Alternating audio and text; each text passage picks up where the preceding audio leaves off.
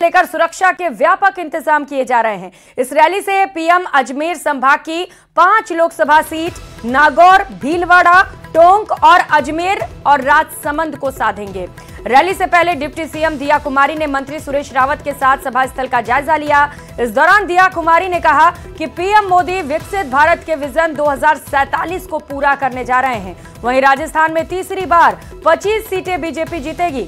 बता दें कि पीएम की सभा में शामिल होने के लिए मुख्यमंत्री भजनलाल शर्मा, सीपी जोशी समेत तमाम नेता शामिल होंगे। साथ ही सीएम तीर्थ पुरोहित समाज से संवाद भी करेंगे।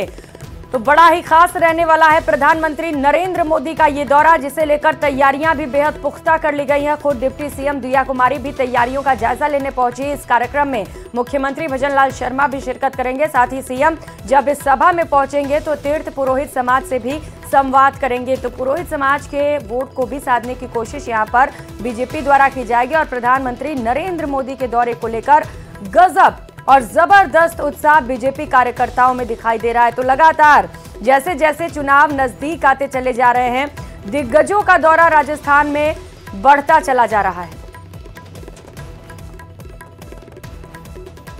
तो पीएम मोदी की राजस्थान में एक बार फिर से हुंकार सुनाई देगी। एक हफ़्ते में लगातार ये तीसरी बार प्रधानमंत्री नरेंद्र मोदी का राजस्थान दौरा है। तो कोटपुतली में पहले उन्होंने जनसभा की।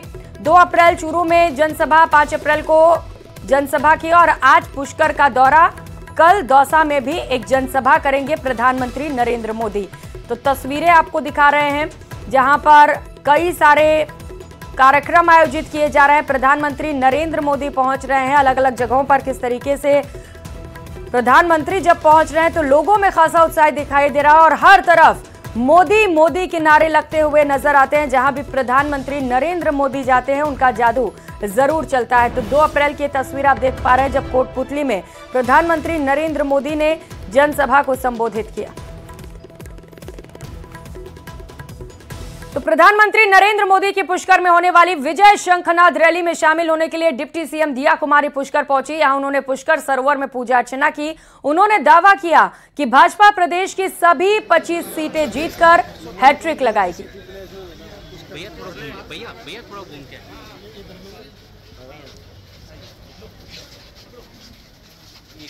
प्रधानमंत्री नरेंद्र मोदी आज पुष्कर में अपनी चुनाव सभा को संबोधित करेंगे। इसे लेकर तमाम पदाधिकारी और मुख्यमंत्री उप मुख्यमंत्री तमाम लोग यहाँ पहुँचेंगे। उप मुख्यमंत्री हमारे साथ हैं। मैम किस तरह की व्यवस्था आज रहने वाली है और क्या यह कार्यक्रम है?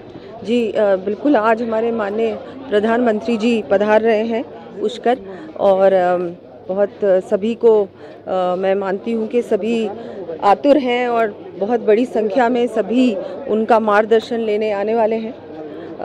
अजमेर लोकसभा से भी, नागौर लोकसभा से भी और हमारे माननीय मुख्यमंत्री जी भी पधारेंगे। तो बिल्कुल सब लोग जैसा कि हर बार ही मोदी जी की सभा में आपने देखा होगा, भीड़ भी बहुत होती है, लोगों में उत्साह भी होता है। वैसे ही आज भी बहुत लाखों की भीड़ होने वाली है पुष्कर में। राजसमंद से सांसद भी रही हैं आप, वो भी यहाँ पर क्योंकि पास ही जिला है। क्या लेते हैं, क्या देखते हैं, उस वहाँ से भी कुछ नहीं, राजसमंद से शायद देगाना मेड़ता से भी कुछ लोग वहाँ से भी आने वाले हैं सभा में। वैसे तो आज की सभा लोकसभा नागौर और अजमेर की है, लेकिन क्योंकि डेगाना और मेड़ता बिल्कुल अजॉइनिंग हमारी विधानसभाएँ हैं तो वहाँ से भी आएँगे लोग। मोदी जी को देखने तो दूर दूर से लोग आते हैं। ये कोई उससे नहीं होता कोई सीमित नहीं होता कि यहाँ से आएँगे और वहाँ से नहीं आएँगे तो बिल्कुल सभी जगह से मैसेज मैसेज क्या है यहाँ से? मैसेज तो ये है कि 25 की 25 सीटें हम लोग जीतेंगे और इस बार तो ये नहीं है कि जीतेंगे या नहीं जीतेंगे। अब ये है कि मार्जिन कितना होगा और मार्जिन पिछली बार से भी ज़्यादा होगा। तो ये थी दिया कुमारी जिन्होंने बताया कि अब मार्जिन की लड़ाई है जीतेंगे तो सभी 25 की 25 सीटें हैं और अब जो है मार्जिन कितना अंतर होगा इसे लेकर संघर्ष जारी है। कैमरा पर्सन कौशल सेन के साथ अशोक सिंह न्यूज़ एटीन अजमेर।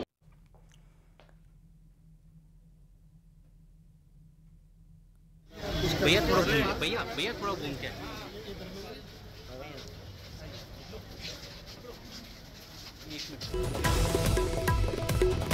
तो दिया कुमारी को आप सुन रहे थे डिप्टी सीएम का दावा है कि सभी 25 सीटें जीतेंगे।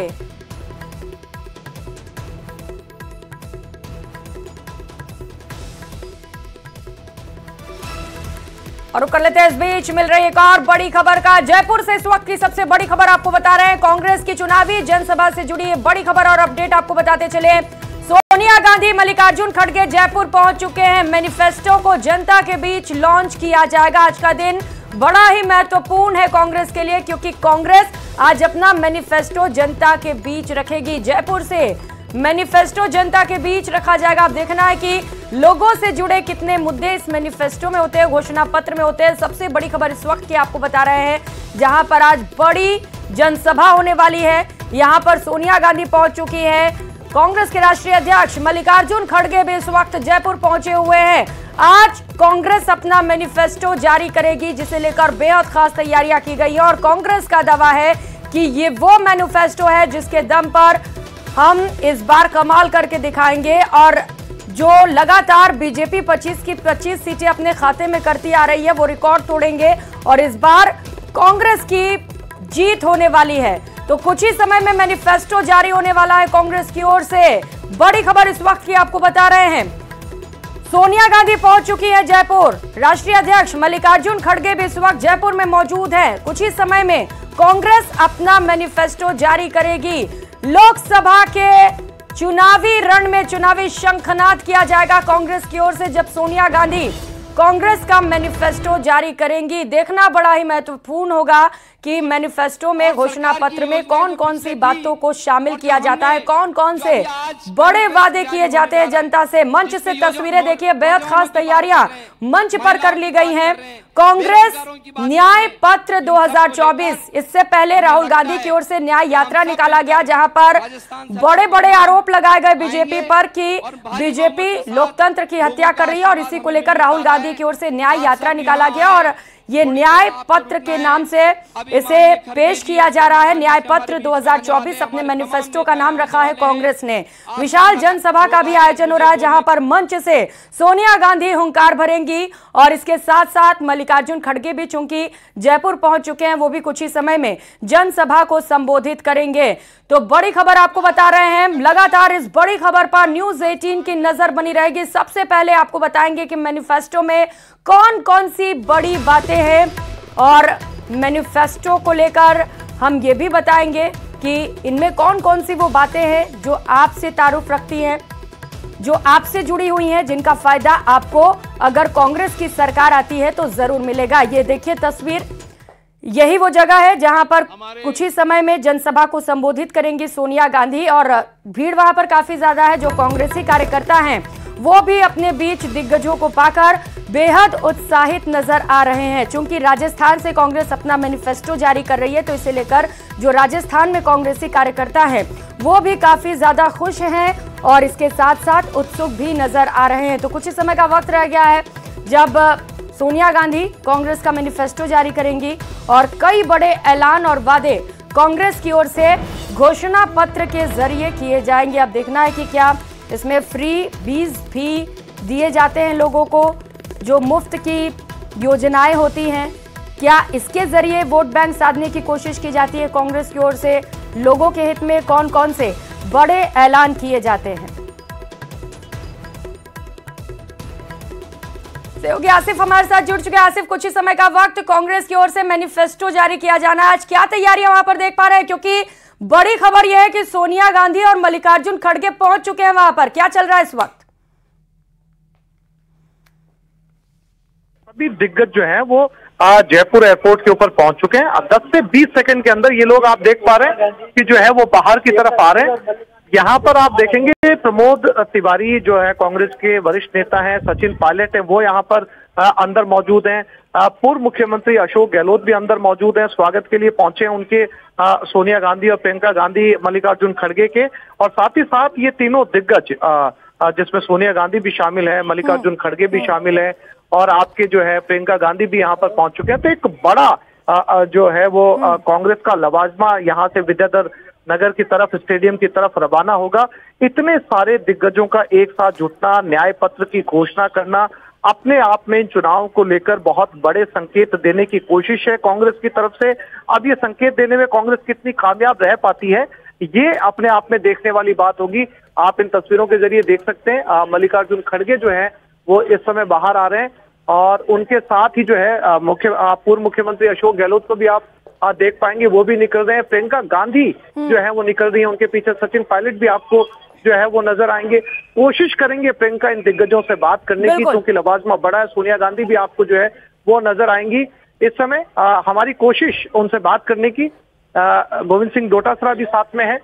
ये तस्वीरें इस समय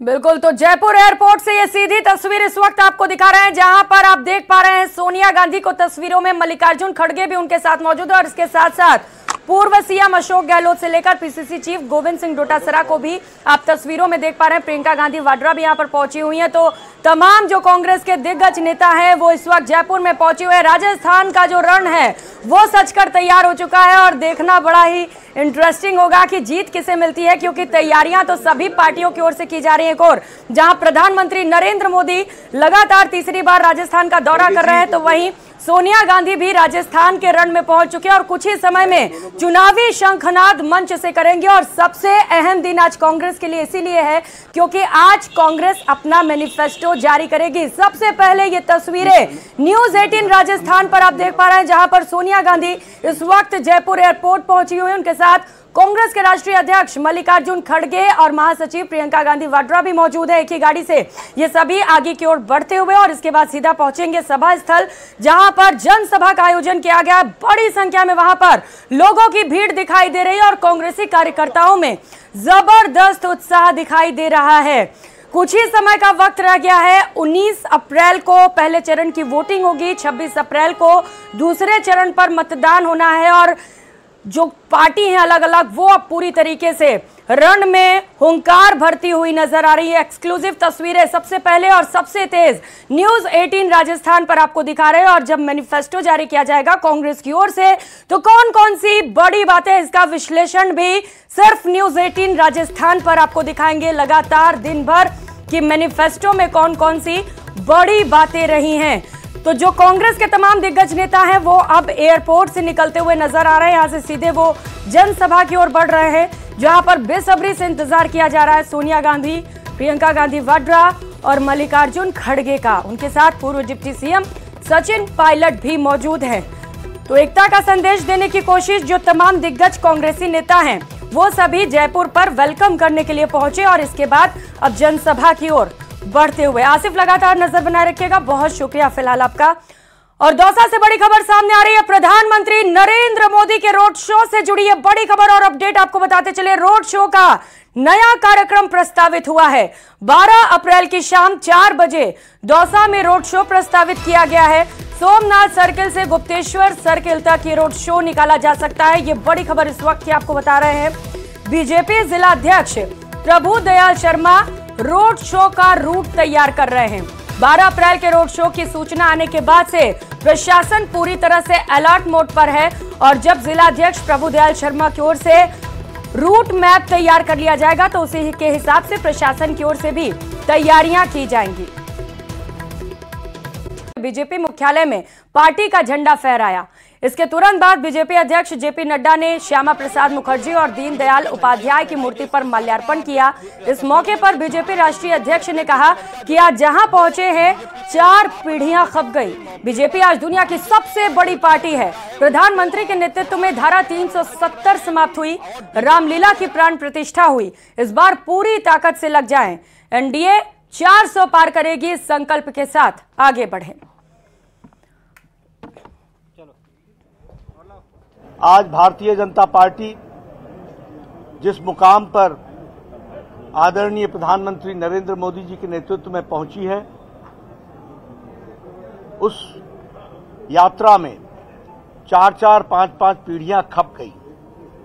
और उनके तप के कारण, उनके योगदान के कारण, उनकी तपस्या के कारण, जो उन्होंने वैचारिक अधिष्ठान के लिए खून पसीना एक किया, उस कारण से आज प्रधानमंत्री मोदी जी के नेतृत्व में भारतीय जनता पार्टी दुनिया की सबसे बड़ी पार्टी बनी है।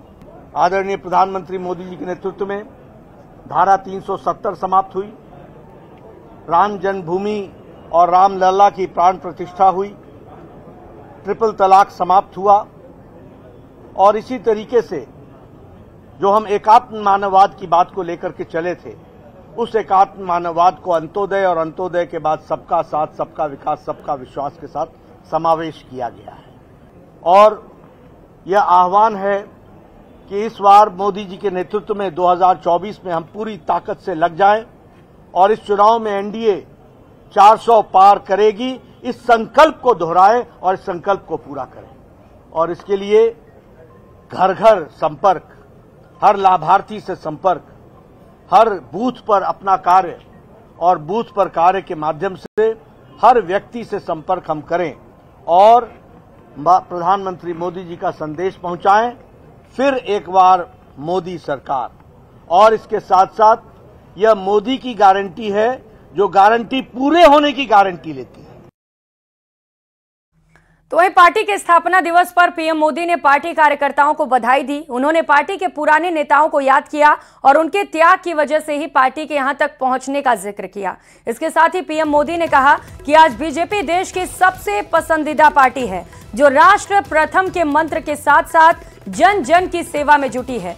पीएम ने 2024 लोकसभा चुनाव में एक बार फिर से बीजेपी की सरकार बनने की भी बात कही।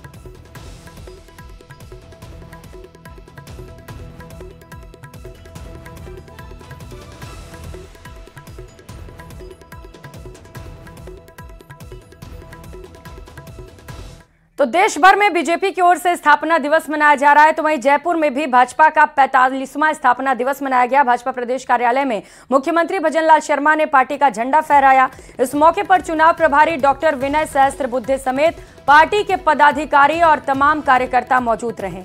इस दौरान सीएम ने कांग्रेस पर जमकर निशाना साधा। देश की आज़ादी के बाद कौन बोल रहे राजनीतिक दल एक सबसे बड़े दल के रूप में जो आज़ादी से पहले जिस कांग्रेस के नेतृत्व में पूरे देश ने लड़ाई लड़ी थी, महात्मा गांधी जी ने कहा था कि इस कांग्रेस को आज़ादी दिलाने तक स्थापना हुई, इसको खत्म कर दिया जाए। लेकिन उन्होंने इसको खत्म नहीं किया। और उसके नाम का लाभ लेने के लिए ये कांग्रेस पार्टी आगे चली और आपने देखा हो, अंतरिम सरकार बनी थी, उस अंतरिम सरकार में ही दो धाराएँ बन गई और वो धाराएँ इसलिए बन गई कि एक वो लोग थे जिन्होंने अपने आप को सर्वोच्च नौछावर करते हुए देश को आज़ादी दिलाने का काम किया। एक वो लोग थे जो निस्वार्थ भाव से एक एक नहीं दो दो तीन तीन पीढ़ियाँ उनकी इस आज़ादी की लड़ाई में खप गई। लेकिन जब देखा देश की आज़ादी के बाद देश की दिशा ठीक नहीं है तो उसी मंत्रिमंडल से इस्तीफा देकर के जनसंघ के नाम से और ऐसे राष्ट्रवादी लोग दस लोगों ने मिलकर के इक्कीस अक्टूबर उन्नीस सौ इक्यावन को जनसंघ की स्थापना की थी। तो लोकसभा चुनाव के रण में बाजी मारने के लिए नेताओं ने जुबानी हमले तेज कर दिए हैं और ये दिन प्रतिदिन बढ़ते चले जा रहे हैं। ये रिपोर्ट देखिए।